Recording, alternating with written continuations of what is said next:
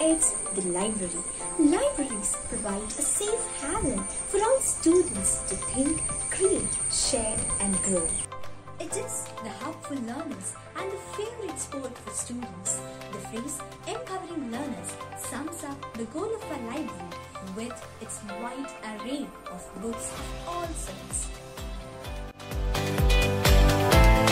Our school has been empowering the students by making them feel valued for being themselves, preparing them to accept challenges, ennobling them to state their stance without fear, eventually helping them write their own success stories. The COVID pandemic swooped down the human race has made our well-stocked libraries inaccessible to students as we all take the recommended measures to keep ourselves and our loved ones safe. St. Peter's is excited to continue the celebration of books with students through online platform. Being within the precincts of our social milieu today, the St. Peterian Library has taken the initiative to enhance literary skills and foster good reading habits in children with a gamut of fun-filled activities. Let's listen to this bunch of students as they speak about their favorite book, author and much more. Have a look.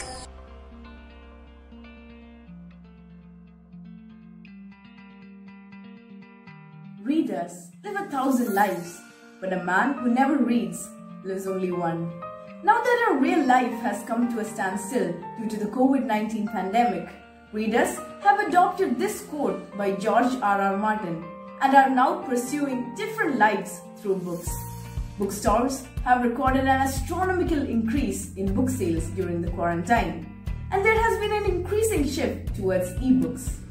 But no matter what form it takes, reading expands our vision, improves our vocabulary, instills empathy, and overall makes us a complete human being. So wherever you go, keep a book close to you that you can pick up in order to plunge into a new magical world. Hi, I'm Alna Vijor. Today I'm going to be speaking about The Book of Dust, Volume 1, La Belle Sauvage, written by Philman and illustrated by Chris Wormell. In this book, Malcolm, 11 year old little boy, lives a happy life with his demon Asta.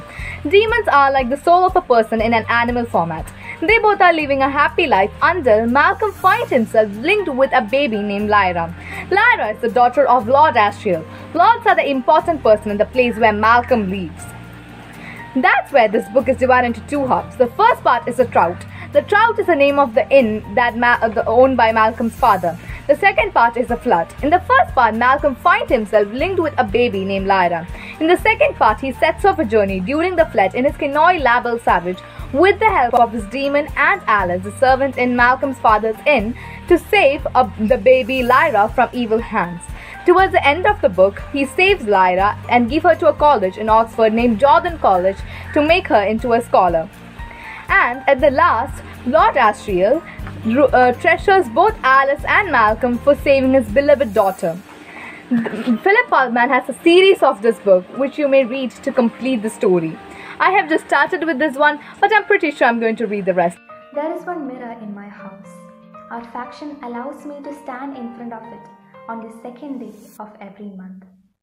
The American novelist Veronica Roth has done an amazing work through her debut novel Divergent. The novel is the first of the Divergent trilogy, a series of young adult dystopian novels.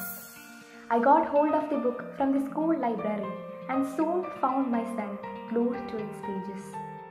The story is told by the central character Beatrice Prior, who is called a Divergent since she does not belong to any of the five factions of her country, a future version of the present Chicago.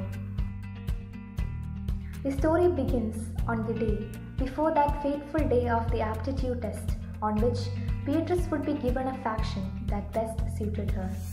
Soon the choosing ceremony followed. Beatrice and her brother Caleb surprised everybody by choosing to leave the abnegation faction to which they were born and brought up by their parents until 16. What I like most about the book is the charm of the place where Beatrice lives.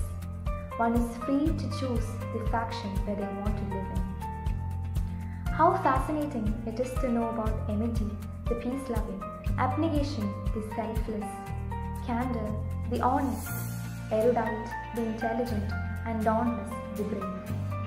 The character of Tris stands apart. I really admire her. What makes her special is that she has a mind that can look beyond the rules. She is love, wisdom, courage, all rolled into one, and that is why the book is named after her, I guess. നമസ്കാരം inspiration story എന്ന് കേൾക്കുമ്പോൾ മിക്കവരുടെയും മനസ്സിൽ വരിക. അബ്ദുൽ കലാമോ മഹാത്മാഗാന്ധിയോ ഒക്കെ ആയിരിക്കാം. എന്നാൽ എന്റെ മനസ്സിൽ വന്ന പേര് കർണൻ എന്നാണ്. അതിന് കാരണം ശിവാജി സാവന്തിന്റെ മൃത്യുഞ്ജയ് എന്ന ഈ നോവലാണ്. മഹാഭാരതം ഒട്ടനവധി കഥാപാത്രങ്ങളുടെ വൈവിധ്യവും അതിസങ്കീർണവുമായ ജീവിത യാഥാർത്ഥ്യങ്ങളുടെ അക്ഷയഖനിയാണ്.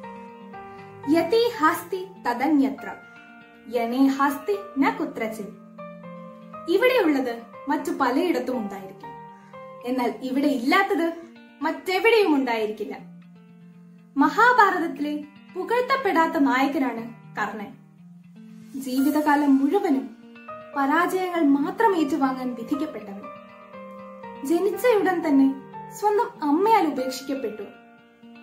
ജന്മസിദ്ധമായി ആയുധം പ്രയോഗിക്കാനുള്ള കഴിവുണ്ടായിരുന്നെങ്കിലും കുലത്തിന്റെ പേരും പറഞ്ഞ് ആചാര്യന്മാരും അവഗണിച്ചു. ഭാവിയിൽ സ്വന്തം സഹോദരങ്ങളോട് സ്വന്തം രക്തമാണ് എന്ന് അറിഞ്ഞുകൊണ്ട് തന്നെ പോരാടേണ്ടി വന്നു. പക്ഷേ അദ്ദേഹം ഒരിക്കലും തളരുകയോ പിന്മാറുകയോ ചെയ്തില്ല. ഇവിടെയാണ് നാം കർണനെ കണ്ടു പഠിക്കേണ്ടത്. പരാജയങ്ങളെ അതിജീവിച്ച് സ്വന്തം പ്രയത്നം കൊണ്ട് മാത്രം മുൻനിരയിലെത്തിയ കർണനെയാണ് നാം മാതൃകയാക്കേണ്ടത്. സ്വന്തം ജീവൻ അപകടത്തിലാകും എന്നറിഞ്ഞുകൊണ്ടും ഇന്ദ്രൻ ചോദിച്ചപ്പോൾ തന്റെ കവചകുണ്ടലങ്ങൾ ഒരു മടിയും കൂടാതെ ദാനം ചെയ്ത മഹാവീരനാണ് കർണൻ. ഒരു തുള്ളി കണ്ണീരോടെയല്ലാതെ മൃത്യുഞ്ജയ് എന്ന ഈ നോവൽ വായിച്ചു തീർക്കാൻ ബുദ്ധിമുട്ടാണ്. അതിൽ എഴുത്തുകാരന്റെ വാക്കുകളുടെ മൂർച്ചയ്ക്കും വലിയ സ്ഥാനമുണ്ട്. ഒരു തവണ പരാജയം ഏറ്റുവാങ്ങുമ്പോഴേക്കും നിരാശരായി പരിശ്രമം ഉപേക്ഷിക്കുന്നവരാണ് നമ്മളെ പലരും. ഇനി എപ്പോഴാണോ നിങ്ങളുടെ മനസ്സിൽ പരാജയബോധം ഉണ്ടാകുന്നത് അപ്പോൾ ഈ മഹാവീരന്റെ മുഖം ഒന്ന് മനസ്സിൽ ആലോചിക്കുക നിങ്ങൾക്ക് തീർച്ചയായും പ്രചോദനം ലഭിക്കും നന്ദി The most influential character from the books I've read is Saint Savin from Paulo Coelho's novel The Devil and Miss Prime. Saint Savin's peculiarity was that he knew how to bring a change in people. He even brought a massive change in a very cruel person called Ahab within one night and made him understand his mistakes. Savin did this by putting trust, faith, and belief in Ahab to make him a better person. People like Savin are really, really rare. Also, Savin shows good over evil, even when evil was struggling to win in him. Between life and death, there is a library. Within the library, the shelves go on and on. Every book gives you a chance to live a new life. They tell us how it would have been if we had chosen a different path. The book, The Midnight Library by Matt Haig, emphasizes the choices one makes to lead a successful life. The protagonist finds herself faced by the choices she makes and the impact of it in her life. This book is truly an eye opener about the ever changing scenarios of life. I believe it would be an exquisite treat to anyone who picked this book up. Hi everyone. The unexpected lockdown days presented us with tons of free time, where beautifully written books of various authors were published during this time. One such book is The Home Before Dark by best-selling author Riley Sager. The book tells the story of Maggie Holt who returns to a haunted house after 25 years. When Maggie was very young, she and her parents moved into Baneberry Hall, a Victorian estate in the Vermont woods. Her family spent three weeks there before fleeing in the dead of night. Maggie is too young to remember anything, but her father published their experience in a book that became a worldwide phenomenon. 25 years later, Maggie heads back to Baneberry Hall to restore the mansion after her father dies. Creepy happenings and crazy twists and turns, the book will keep you hooked till the very end. The book is available in Amazon and Kindle. Hope everyone gives this book a shot. Thank you. Good morning all. Today I'm standing before you to share my views on my favorite author Stephenie Meyer. Stephenie Meyer was born on December 24, 1993. She is an American novelist best known for her vampire romantic series The Twilight, which has sold for more than 100 million copies with translations into 37 different languages. The idea of Twilight came into her mind as a dream on June 2, 2003. The Twilight collection includes books like Twilight, Twilight Saga, Twilight Saga New Moon, Twilight Saga Eclipse, Breaking Dawn and the last book, The Midnight Sun. She was inspired by the work of Jane Austen and William Shakespeare. This book deals with the story of a 17-year-old girl, Bella Swan, falling in love with the vampire Edward Cullen. She endangers her life falling in love with him. The romance of Edward and Bella is both touching and crumbling. There is a melancholic feel towards their impossible love. Among the books which I have read, this is the most interesting books, The New Moon.